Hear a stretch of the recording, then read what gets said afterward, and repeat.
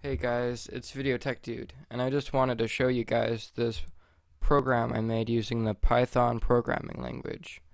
I am completely new to computer programming languages, and I just watched a few tutorials and articles. Well, I read a few articles on how to program using the Python language, which is the beginner language for computer programmers, and so I decided to start with that, and I thought up of this little program to make that wouldn't be too hard, but it still took me, I'm guessing, about 20 minutes to make, which isn't too long, but yeah, but it took me the rest of an hour to um, learn it.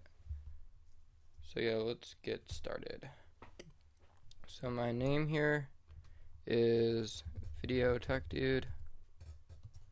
It says hello, Video Tech Dude hey video tech dude how old are you? And i'm gonna say i'm a hundred and fifty-four.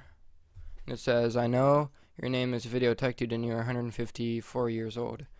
Type a year to see how old you will be in that year. So i'm gonna type 2056 and then it says what year is it right now I'm going to type 2014. So it says you would be 196 in 2056.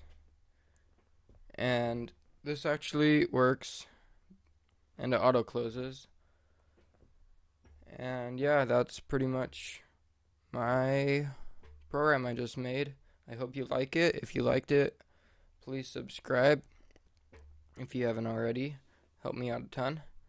But yeah, see you later. Bye.